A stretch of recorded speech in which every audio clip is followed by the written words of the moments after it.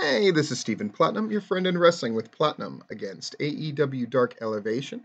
Uh, this is episode 38, I believe. It took place November 22nd, 2021, for posterity's sake. Now, people have given me feedback, which is absolutely wonderful. And one of the feedback things was um, we like it when you tell us how many appearances that people have made specifically and uh, go into a little more detail about stuff like that in addition to my analysis of what I think this means in terms of uh, AEW and my three check grading system and explaining that. So, cool. I'm happy to do it. I think I found a great way to sort of take notes and that kind of thing. So, let's get into it, right? So, we got Justin Roberts as the ring announcer.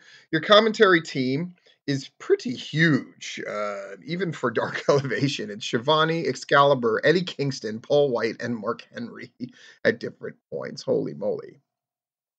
Uh, we got Anna Jay and Tay Conti, the team that we're keeping together, apparently, which I think is wonderful. Um, against Willow Nightingale, who's making her, I believe, fifth appearance, and Erica Lee, who um, is brand new, has never been in AEW to the best of my knowledge. Um, it is a good, solid match where they give up some offense um, to the people who are going to obviously lose. Um, Conti is the bigger star, hits that hammerlock DDT, picks up the win. If we grade these enhancement matches on a three check system, one check for the proper entity being put over, which happened, and do they look strong in the process? That's a second check mark. And then the people who are losing, do they do a good job in defeat and or get a disproportionately high amount of offense? And the answer is honestly yes to both of those. So three check marks, and we are off and running. Our second match, Tony Nese, who is new but clearly going to get the pizzy pizzy push because he's 1 0, against Logan LaRue, who I believe is new to AEW, but even I'm familiar with him. So I expect this to be a very competitive matchup, such as it is. It's I'm still going to call it an enhancement match, but I imagine LaRue is going to get a lot in there.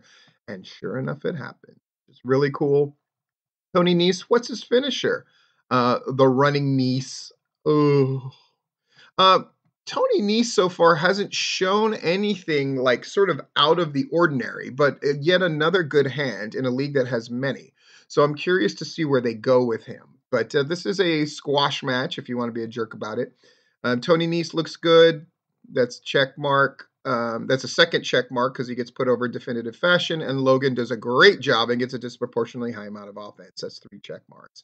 Next, we've got um, a tag match: Ricky Starks and Will Hobbs with Hook against Lucas Chase and Irvin Legend. Irvin Legend is n- making his first appearance with AEW. A lot of first timers, and Lucas Chase has had one. So yeah, it's what you would expect. It's a lot of Will Hobbs destroying them but Starks getting the pin. So Starks, um, you know, he had that, that, that really serious neck injury, but apparently he's back after all of that. There's a lot of this was Starks sort of getting in there and sort of getting warmed up and and that kind of thing. But he definitely took spots and all of that stuff. So it's great to see Ricky Starks back doing his thing. This is obviously a squash match, so yes, uh, Team Taz is put over definitively and they win definitively. And uh, the guys who are losing looked good in defeat. So three check marks. Fourth match, another one of these whole lot of women in a match matches. Um, they're trying to find uses for all these 25 women they have under contract, and I ain't mad about it. Fourth match is Statlander, Leyla Hirsch, who we haven't seen in a long time, Ryo Mizunami, against the Bunny, Penelope Ford, and Emi Sakura. Uh, this is most definitely a competitive match. So we grade these on a slightly different system, but it's still three check marks. Do both sides look good? Absolutely. Um, does one team get put over definitively? Yes. They don't do crappy finishes in this league. So it's Statlander, who's obviously uh, the biggest star right now, uh, winning with the Big Bang Theory. And um, is something advanced? Yeah, I think we're going to see more of these uh, women's six mans and more and more and more.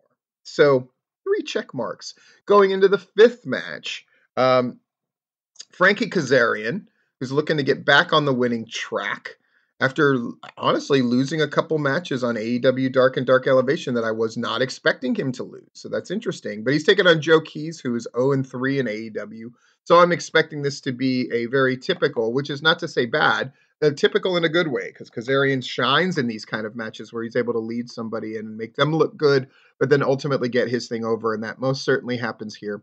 Three check marks, good job. Crossface chicken wing, put over. Sixth match, Dark Order. In this case, an incarnation against Alex Reynolds, John Silver, and Preston Vance. By the way, this incarnation of the Dark Order, this particular six person team, is 4 0. Hmm, interesting, right?